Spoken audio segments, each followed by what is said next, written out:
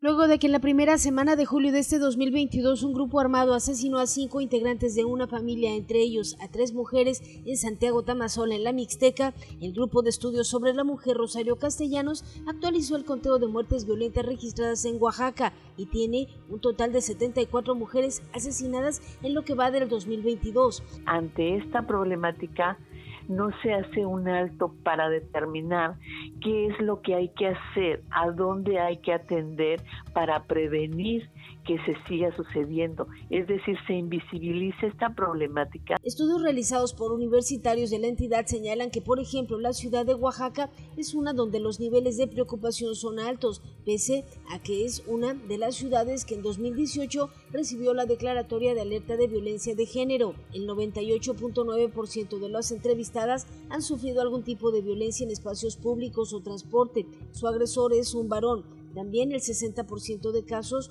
hubo testigos, pero nadie interviene y solo el 16% ofrece una ayuda. Además, el estudio indica un grave problema. Las víctimas no saben a dónde ir a denunciar una situación de acoso callejero. Los datos coinciden con la encuesta nacional de victimización y percepción sobre seguridad pública de 2020, que indica que 13.480 mujeres fueron víctimas de delitos en el estado.